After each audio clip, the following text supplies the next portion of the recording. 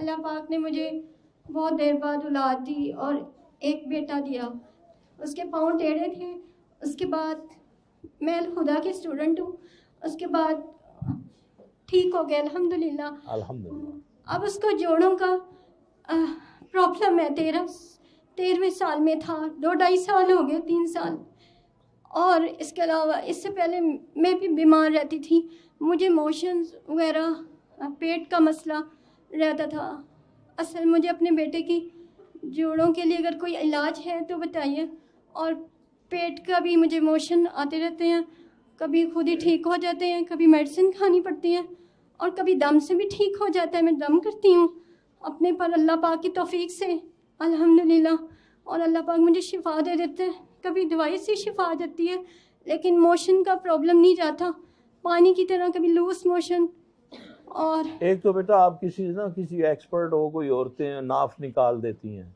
जी। एक तो अपनी नाफ चेक करवाएँ ना। जी करवाइए ले हाँ जी? करवाइए लेकिन मोशन नहीं जाते हर अच्छा मैं अब आगे बताता हूँ आपको। मेरे बेटे का पहले जोड़ों का इलाज बता दें वो छोटा है। बेटे का ये जो है एक बड़ी ज़बरदस्त दुआ है नबी सल्लल्लाहु अलैहि वसल्लम की। एक सहाबी मुसलमान होते हैं ना तो आके अर्ज़ करते हैं या रसूलुल्लाह सल्लल्लाहु अलैहि वसल्लम जब से मैं मुसलमान हुआ हूँ मुझे जोड़ों का दर्द हो गया मेरा जिस्म दर्द करना शुरू हो गया है। तो अलैहि वसल्लम ने उसको एक दुआ बताई मेरे हिसाब से हर मुसलमान को आनी चाहिए। वो इतनी ज़बरदस्त है मैंने जितने दम देखे हैं सबसे ज़्यादा काम करने वाला ये दम है। हैं जी? वो है तीन बार पढ़ें बिस्मिल्लाह बिस्मिल्लाह बिस्मिल्लाह। जी जी। सात बार पढ़ें आउज बेजतिल्लाहि व कुदरत ही मिन शर्र मा जदु हाजिर। जी। ठीक है? फिर उसके बाद तीन बार पढ़ें अजीब अल्बास रब्बन नास वशफी अंत शाफी ला शिफा ये दुआ पढ़ें। तीन बार पढ़ें मिन शर्र कुल्ल नफ्सिन व मिन हासिदिन। अल्लाह यशफा बिस्मिल्लाह रक़ीक ये पढ़ के उसको ऐसे करके या उसके हाथ फरवा दें। जी जी। ये दम से हाथ फेरना बहुत ज़रूरी है। आयशा ने फरमाती हैं कि जब आप वसल्लम बीमारी में लागर हो गए ना तो आप अपने हाथ नहीं उठा सकते थे। मैं पढ़ती थी आपके हाथों पे फूकती फिर आपके हाथ में पकड़ के आपके उस हाथ जिसम पे ये हाथ ज़रूर फेर लिया करें। आप ये करें उसको अपने वज़ू गुसल के पानी से गाहे बगाहे नहलाती रहें जी। बच्चे और- को। और आपने ख्वाब में कभी कब्रिस्तान देखा है? जी मैं बचपन में बहुत ख्वाबें गलत देखती होती थी लेकिन ख्वाब में आपने तो- शादी देखी अपनी शादी से पहले या बाद में? नहीं। ख्वाब में आपने कभी बच्चे को जन्म दिया ख्वाब में या फ़ीड करवाया? नहीं। नहीं? वैसे इस तरह डर जाती थी और अपनी अम्मी को कहती थी अम्मी मैं आपके पास आ जाऊँ। और अम्मी फिर मुझे दम करती थी और आप कितने नंबर किए हैं बहन भाइयों में? जी मैं तीन बहनें और दो भाई हैं। आपका नंबर कितना है? आप आखिरी आखिरी लास्ट मेरी भाभियाँ भी थी। मैं भाभी बीच में क्यों शामिल कर रही हो? बहन भाइयों में तुम्हारा नंबर कितना? आखिरी कितना? जी छठा आपसे बड़े बहन भाई कितने हैं? दो भाई हैं तीन बहनें हैं मैं आखिरी हूँ छोटी हूँ सबसे। चौथा पांचवा नंबर आपका। हाँ जी।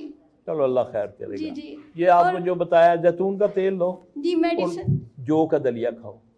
और मेरे बेटे की कोई मेडिसिन मैंने आपकी वीडियो देखी थी उसमें आपने धनिया बताया था धनिया अभी कल क्लिप देख रही थी धनिया और उसके पत्ते और वो शुगर के लिए। है और आपने बीच में वो शुगर के लिए है। धनिया उसके पत्ते और टांडल जो उसकी टहनी है जी जी वो शुगर के लिए है। इंसुलिन के लिए जी जी लेकिन उसके साथ आपने कहा था ये जोड़ों के लिए भी है और अंजीर भी आपने बताई थी जोड़ों के लिए जितना मर्ज़ी खाएँ। वो तो नबी सल्लल्लाहु ने फरमाया ना कि अंजीर खाने से ना बवासीर होती है ना जोड़ों में दर्द होता है। जी जी और कितनी तो के नबी किस तरह खानी चाहिए? ऐसे खानी चाहिए मेरे ऐसे खा लें। जिसको अल्लाह ना करे पथरी है किसी जगह या मसाने में या गुर्दे में या अपना पित्ते में तो उसको पानी में भिगो के रात को सोने से पहले उसको रख ले पानी में भिगो के तीन खा सकता है पाँच खा सकता है। ताकि उसमें वो प्याला ले कच्चे बर्तन का ना कच्चा बर्तन नहीं होता जो? जी जी हाँ। उसमें डाल के उसमें पानी जितना वो पी सकता है उसमें वो अंजीरें डाल ले मलमल से ऊपर उसको डाम दे और उसमें रख दे। जी। ठीक है? जी। तो नबी सल्लल्लाहु ने फरमाया कि शबनम के कतरों में एक कतरा जन्नत का भी होता है। को- जो कोई ये मैं आपको तिब नबी से बता रहा। हूँ। वो आप सुबह उठ के जिसको पथरी या किसी जगह भी वो अंजीर खा ले और उसके बाद वो पानी पी ले तो उसकी पथरी रेत बन के निकल जाएगी जी। ताला। कोई जोड़ों के लिए कोई और मेडिसिन या अल्लाह अकबर कबीरा मैं आपको ये बता जो रहा हूँ कि ये आपने दम करना है उसके बाद उसको हल्दी ले लें। आमा हल्दी ले लें, आमा हल्दी। आमा हल्दी नाम उसका है। नहीं इधर तवज्जो करो मेरी तरफ़। आमा हल्दी। एक आम से आमा है ना, ये एक आती है, आम की तरह होती है हल्दी। इसको आप खुद कटवा लें। ये अल्लाह ना करे हेपेटाइटिस सी का भी, ये आखिरी स्टेज का भी इलाज बताने लगा हूँ।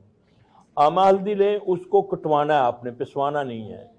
उसको कपड़ छान करके, उसको कांच के बर्तन में डाल लें, सुबह गर्म पानी के अंदर एक छोटा चम्मच लेवल करके डाल के उसको पीने से हेपेटाइटिस सी भी ठीक अल्लाह कर देता है। कैंसर के भी कई अमराज इससे ठीक हो जाते हैं, हल्दी से। तो ये जोड़ों का दर्द के लिए भी है। इसको लेकिन पानी में नहीं देना, उसको गर्म दूध में देनी है, हल्दी। लेकिन उम्र उसकी कितनी है? हाँ बस उसको छोटा चम्मच लेवल करके ना, उससे भी थोड़ा सा कम कर दे। अल्लाह उसे शिफा दे बस दम करो दम पे यकीन करो दम पे हाँ अल्लाह खैर अल्लाह तुम्हें अपने जुमान में रखे जी